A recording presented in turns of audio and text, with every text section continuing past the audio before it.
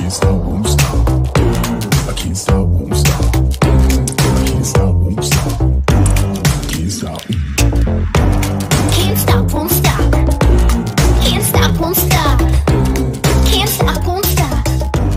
Can't stop.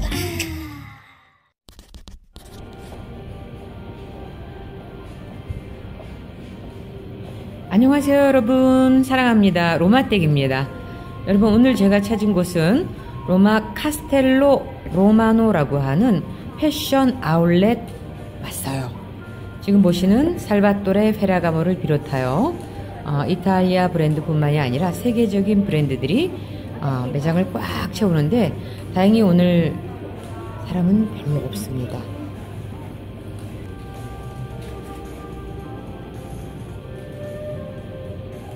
자, 여러분 잘 알고 계신 켈빈 클라인.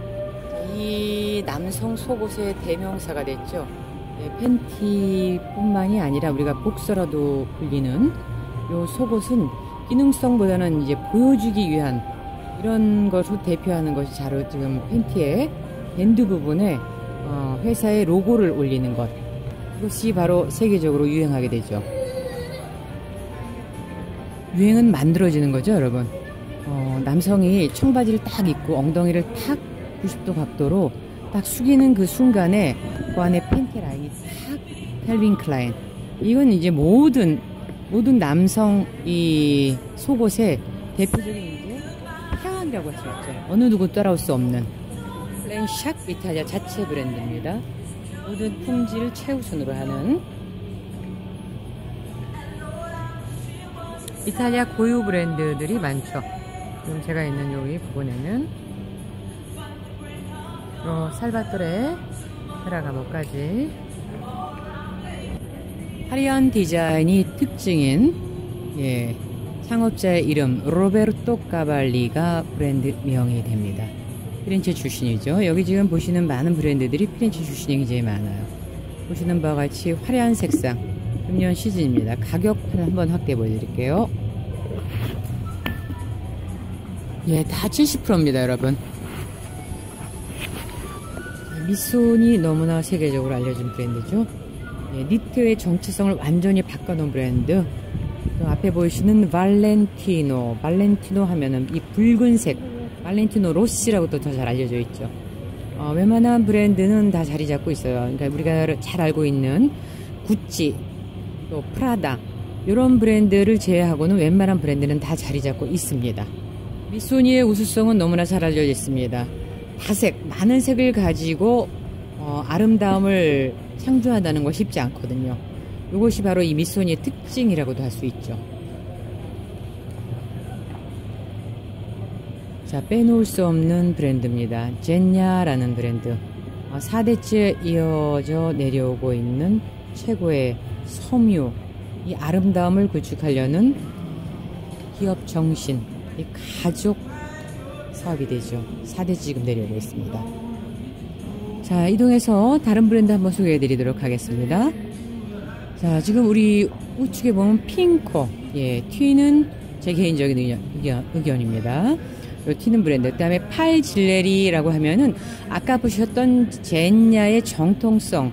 예, 그 분위기에다가 현대적인 감각을 입힌 젊은 층들이 좋아하는 브랜드라고 할 수 있어요. 빨질레리. 파리에서 패션 공부를 한 발렌티노 가라바니라고 하는 분이 1960년대에 launching한 패션 하우스입니다. 아, 이 사람이 유명하게 된 거는 그 재클린 케네디 오나시스의 결혼식 드레스 등을 1970년대 국제적인 주목을 받으면서 어, 여성들 특히 파워 있는 여성들과 함께 발렌티노의 최전성기를 맞았다고 할 수 있죠. 1969년 예, 이탈리아의 중부 도시 피렌체라고 표현되어 있죠. 자, 이들의 이 역사, 가죽의 역사는 지금이 1969년이 아닙니다, 여러분. 사실은 1300년대 어, 오늘날 르네상스의 밑바탕에는 피렌체 상인들 그리고 이 가죽을 다루는 이들의 손이 없었다면은 오늘날 여러분 보티첼리도 없습니다. 미켈란젤로도 없죠, 당연히. 자, 이 브리지는 어, 피렌체의 가장 중심을 이루는 아르노 강의 가장 오래된 다리라고 하는 그 브리지. 본때 백교를 표현하고 있습니다. 재밌어요, 여러분. 이렇게 상점들의 어, 모습 이런 것도 중요하지만은 중간 중간에 이렇게 턴을 만들어 가지고 한번 회전하면서 어, 동물이라든지 상징적인 이탈리아의 것들을 보여주면서 또 이게 멀리서 이렇게 바라보니까는 여러분 이 건축미도 빼놓을 수가 또 없습니다. 이렇게 보시면은 예, 옛 중세 시대의 모습에 예, 고성 바로 밑에 공룡이 아주 극적인 대주를 이루고 있죠. 엄마 아빠 쫓아온 어, 이탈리아의 이 어린 학생들이라든지 아, 유아들이 이렇게 보는 모습도 사실 무시할 수가 없거든요. 같이 함께 즐기는 가족 단위의 이탈리아인들의 모습을 여기서도 느낄 수가 있고. 자, 이쪽 섹션은 모두가 스포츠, 스포츠 브랜드를 모아놓고 있습니다. 여러분 지금 멀리서 가까이서 함께 할 수 있는 그런 브랜드들이, 예, 아, 스포츠 의류들을 섹션 섹션을 만들어 놓고, 어, 쇼핑하는데, 예, 용이함이죠.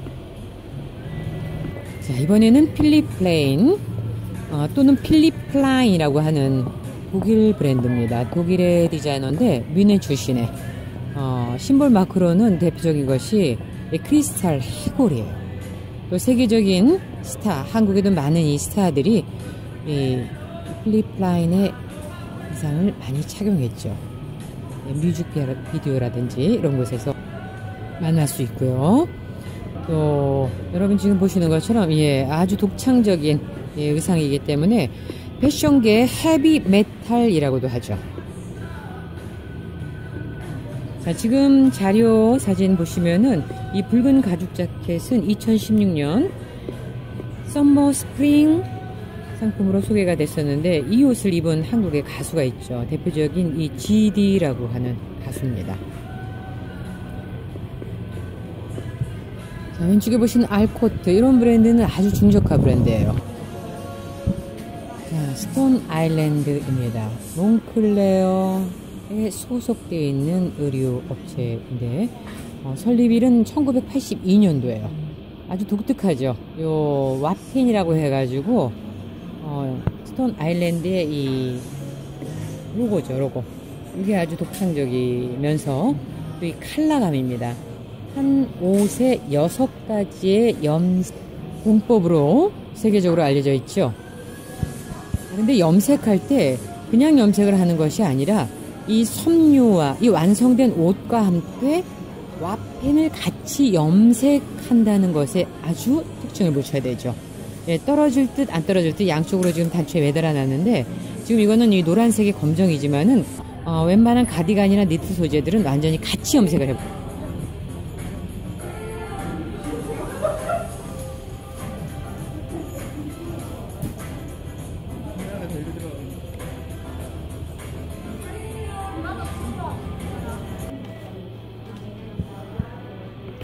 이번엔 대망의 모스키노입니다.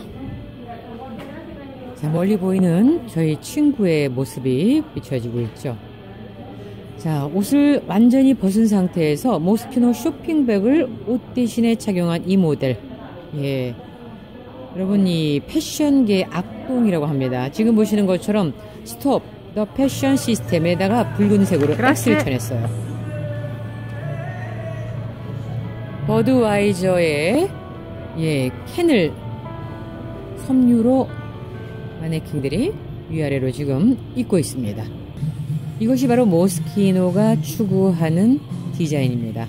우리가 상상할 수 없는 것을 표현하는 그의 힘. 한 여성이 예, 세제병을 향수 대신 들고 있죠. 역시 향수입니다. 아이고 놀래라. 예, 이번에는 샹들리에 예, 속 팬티를 치마 밖으로. 얘는 독창적인 디자인입니다. 저는 여름에 이 수영 팬티 대신 입어야 되겠어요. 자, 이 맥도날드의 상징적인 것을 의상으로 대신한 모델들. 곰을, 예, 곰을 곳곳에 옷이나 핸드백이나 머플러나 붙일 수 있는데 다 붙여놨죠.